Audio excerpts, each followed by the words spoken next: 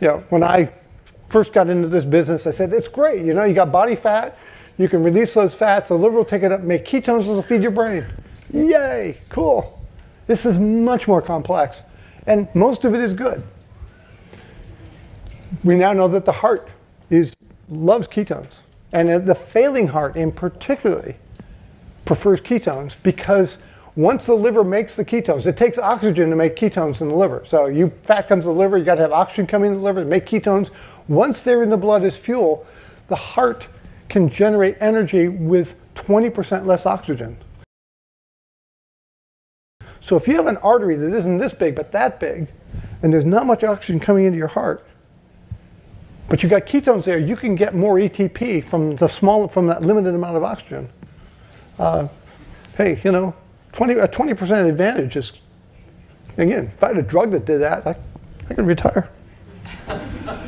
There's been a study done, two studies done in the US on health span and lifespan in mice um, uh, with either an intermittent uh, ketogenic diet or a continuous ketogenic diet. The ones that were given the continuous ketogenic diet lived 13% longer.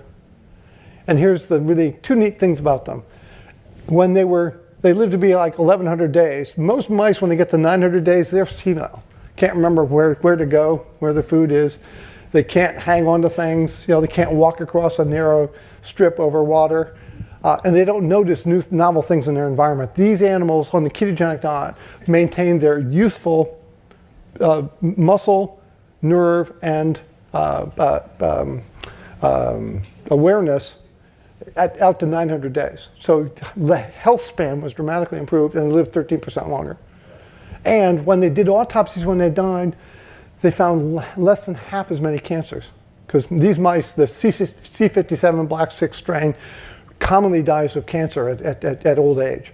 And the, the, frequency of cancer was reduced. At, the, they lived longer and had fewer cancers.